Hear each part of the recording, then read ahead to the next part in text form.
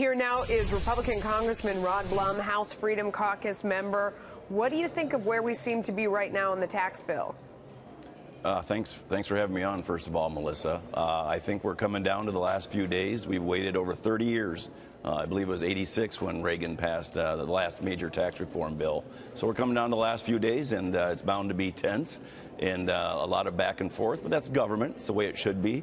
but I'm absolutely confident President Trump will be signing a large tax reform bill on Christmas Eve, Melissa. Yeah, I mean, does it put pressure on everyone to get it done after that loss that we saw in Alabama for the Republicans? Republicans, knowing you have one less vote?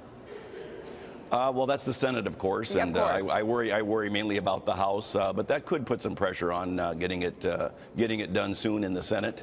Uh, but I, I, just think overall, everyone in, in, our party for sure realizes the impact, Melissa, this is going to have positive impact on our economy and on the working families' uh, wages and take-home pay. Everyone realizes that it's long overdue. Yeah, I mean, what do you think of this last iteration that we're hearing just now today? The idea the corporate tax rate taking that to 21 percent, maybe to give a little bit of room to bump down that top rate to ease for the folks who are going to get hit with that change in the SALT. I mean, now it seems like maybe there really is something for everyone in this bill? Uh, yes, I, I, personally am fine with the corporate tax rate going from 20 to 21 percent. It'll still put us in the lowest 25 percent of developed countries worldwide, the corporate tax rates. And uh, it does bring the ta top tax rate down a couple points to help uh, uh compensate for the SALT deduction. If it stayed at the 39.6%, I would also be happy with that and give more tax relief to the middle class. I know Stuart Varney wouldn't want to hear that, uh, but I, th I think that would be all right.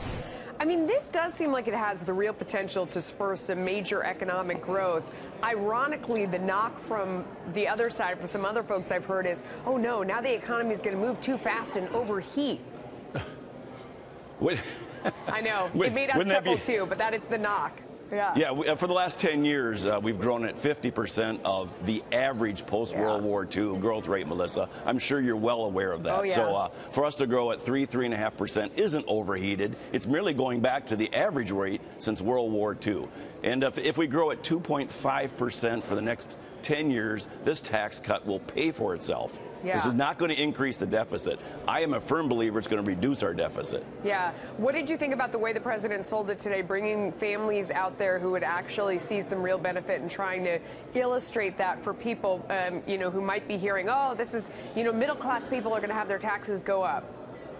Yeah, well, that's absolutely a fabrication. Middle class families on average are going to see a tax cut. But I think more importantly, Melissa, for middle class families, is they're going to see their wages go up because the economy is doing better. Yeah. I've seen estimates, Melissa, anywhere from $2,500 a year to $6,000 a year in additional pay because of this tax reform package. That combined with the tax cuts, our working families, our middle class families are finally going to yeah. see some prosperities after 20 years of falling behind. You know, I do believe that to be mathematically true. I hope the numbers bear out. I don't see why they wouldn't. Sir, thank you for coming on. We appreciate it.